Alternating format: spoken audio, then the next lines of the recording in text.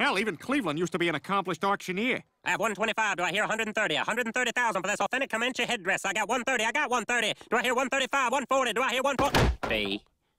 135 going once.